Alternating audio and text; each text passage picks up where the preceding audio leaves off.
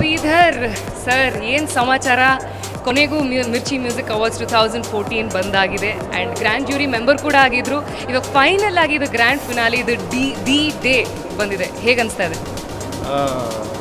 thanks to Mirchi music awards, ಯಾಕಂದರೆ ಈ ಒಂದು ಅಟ್ಮಾಸ್ಫಿಯರ್ನ ಕ್ರಿಯೇಟ್ ಮಾಡೋದು it's a very brilliant thing and more ನಾವು ಯಾರ್ಯಾರನ್ನ ನೋಡಿರಲ್ಲ ಯಾರ್ಯಾರ ಬಗ್ಗೆ ಕೇಳಿ ಕೇಳಿರ್ತೀವಿ ನೋಡಿರಲ್ಲ ಅದ್ರಲ್ಲಿ ಅವ್ರನ್ನೆಲ್ಲ ನೋಡೋ ಅವಕಾಶ ಮತ್ತು ಇಲ್ಲಿ ಸೆಟ್ ಆಗಿರೋಂಥ ಸ್ಟೇಜ್ ಬಂದ್ಬಿಟ್ಟು ಅವಸಮ್ ಆಗಿದೆ. ಏನೋ ಒಂದು ದೊಡ್ಡ ಒಂದು ಲೋಕನೇ ಸೃಷ್ಟಿಯಾಗಿದೆ ಒಳಗಡೆ.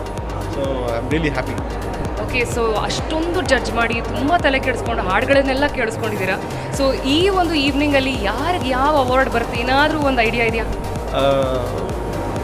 ಯಾವ ಅವಾರ್ಡ್ ಬಂದರೂ I am really happy because the best will score the award basically ಹೇಳ್ತಾ ಇರೋದು radio Mirchi ninety eight point three F M ಸಖತ್ ಹಾಟ್ ಮಗ